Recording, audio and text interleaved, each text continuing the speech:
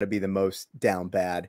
Um, and then like hearing if I'm a Bucks fan and I hear Doc on Bill's pod today, right. I it, it got to drive me freaking insane. When you hear Dame Lillard say that he was just not in shape the entire season and Doc's just like spilling all these secrets, I would be so mad if I was a Bucks fan at this point, man. But you talked about, you know, would we choose Tatum over Luka? One of the conversations that I keep coming back to, Will and I have talked about this a little bit, and Will, I'll kick it to you. Jaylen Brown and Team USA, man.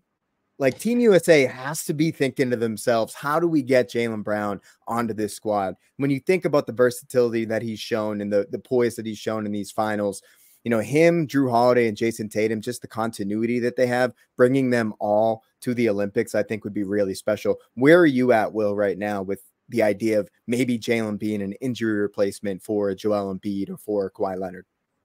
I mean, I love the idea of it. And I think when you watch him match up with Luka, who we'll see what all these injuries do for Luka's availability. I'll tell you what, Will Devin Booker is not shutting down Luka Doncic in the Olympics. That's a very fair point. That's a very, very fair point. I mean, I think it makes a lot of sense. I think as a Celtics fan, I'm like, all right, I don't know if we need a whole fourth of this Celtics of the Celtics team immediately going to the Olympics. So selfishly, little bit of reservations. And I mean, if you think about it, I'm pretty sure, and I'm, I haven't looked this up, but I don't even think he made the final pool of people that they were choosing the you know the, the, the roster from. So I don't even know. I, I, don't. I mean, I'm sure it's Team USA. There's not really strict rules. If Grant Hill decided he wanted to just say, "Yeah, Jaylen Brown, we're taking you as a replacement for Kawhi or for Embiid," he probably could, and I think it makes a lot of sense. I probably don't see it happening at this point because he wasn't he wasn't in that pool. But Brian, I know you even tweeted this out last night as well. Like this has to be something when you think about if you're going up against Luka or you're going up against, you know, even maybe Franz Wagner and you know in Shit. Germany and, and you know, yeah, there's a bunch of guys that you're that you're thinking about where it's like, you know what, this Jaylen Brown, who you know has prided himself this year, as we talked about, wanted to really be all NBA defense didn't quite make it, got votes, was in the discussion for it. You know, it probably hurt him that he had two other teammates that were going to make it. And so there's only 10 spots. It's, you know, a little tough to get 30% of that from one team. But you've seen his play defensively. You talked about the big block in the Indiana series. Everything he's done here has to be leaving an impression that I think Team USA, if they could do it over again, would at the very least have him in the pool of players being selected.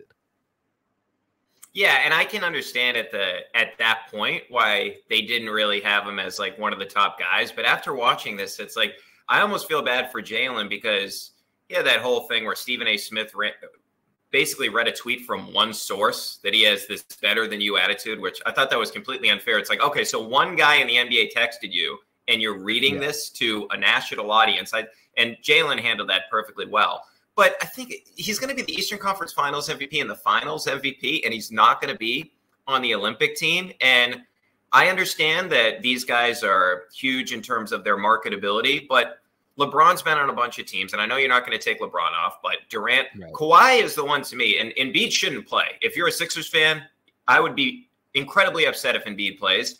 And I would say the same thing. I don't know how many Clippers fans there actually are, but Kawhi can't we're gonna, finish. We're, going to find out how many people want to go to that wall, which is supposed to be all Clippers fans. I don't know what that's going to look like.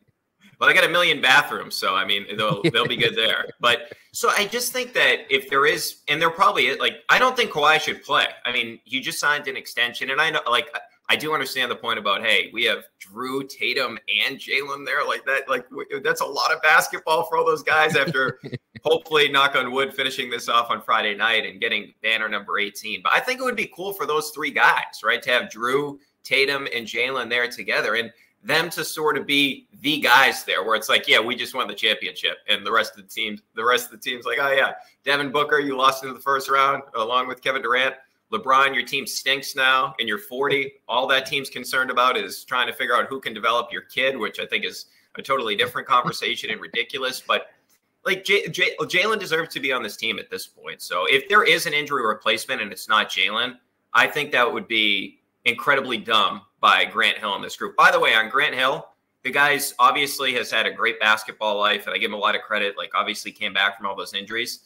Can we get him off these broadcasts because he won't criticize anybody? And I think it's because he is the head of USA Basketball if you notice, like one of the only guys he has criticized is uh, Luka, which he deserved to be criticized at the time, but he doesn't criticize anybody because I think he's afraid like these guys could be on the team.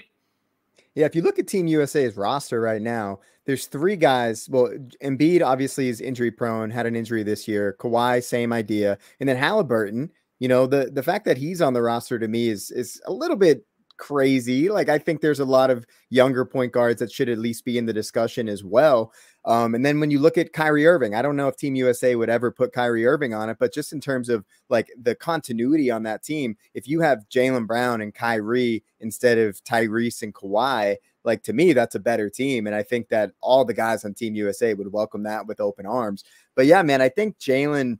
I think he deserves to be on Team USA, man. I've been saying this since they announced that roster that it's crazy he wasn't even involved in it. And I truly think, you know, when you think about the two-way impact and how you need to be able to be super physical in the in the FIBA game, Jaylen is is tailor-made for that and his ability to handle physicality. I talked about how when they initially left him off, Will and I were kind of going back and forth about this that Jaylen, when he first played on Team USA back in what I forget what year it was, um, he was playing the four a lot. He was guarding bigger guys, and they really gave him the opportunity to show that he could guard up. And that was the first time I really realized how strong Jaylen Brown is. And he's continued to just pack on the muscle that we talked about earlier in the pod. But yeah, man, it's it's pretty crazy that Jaylen's not on it and that everyone is kind of just accepted Devin Booker is better than Jaylen Brown. Like, yeah, he's a better scorer, but is he a better two way player? Same thing we're talking about with Tatum and Luka.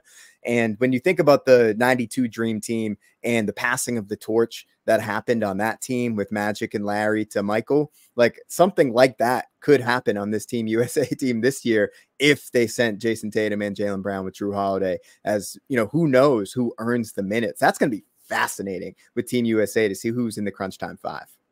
Well, Tatum should start over Durant, but I don't think it'll happen because he's Kevin Durant, right? Like Tatum will probably, like he's been in the past, be like that six man coming off the bench. But Tatum is the best rebounder on the team that's not a center. I mean, that's one of the most underrated things about Tatum's career, right? He's it's already been three times he's averaged over 10 rebounds per game in the postseason. He's an unbelievable defender, too. Like, so, and even Tatum, like, he took on the Shai matchup earlier this season against OKC. But now that I think about it, what if Jrue gave his spot to Jaylen? He said, Hey, I'm not going to play on the team, but the only guy that can take it is Jaylen. Because from a Celtics fan's perspective, as somebody that wants to see this team continue to win, Jrue Holiday, what did he turn yesterday? 34? Wasn't his 34 year old yeah. birthday? Yeah, he's yeah, he, he he's our age now. He should be on the podcast with us.